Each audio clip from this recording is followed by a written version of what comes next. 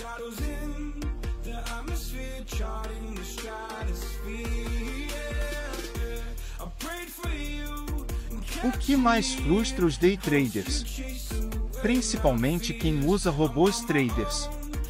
Antes, inscreva-se no canal, curta e compartilhe com os amigos. Sou o robô assistente de conteúdo do professor Jackson Carvalho. Ele basicamente cria o conteúdo e eu explico aqui para você. Vamos lá? Bora então. Olha o que geralmente acontece. O cara coloca mil reais na conta risco e quer ficar rico em um mês, aí não dá né?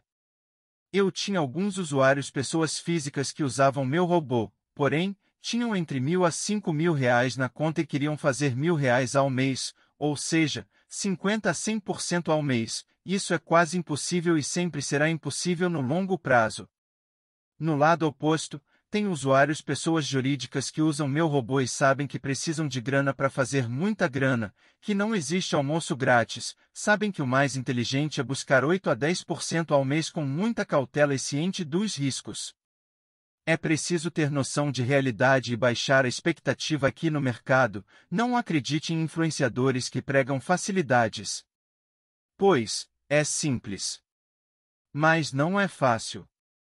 Espero que tenha compreendido, e não esqueça de curtir e compartilhar. Abraços e até o próximo vídeo.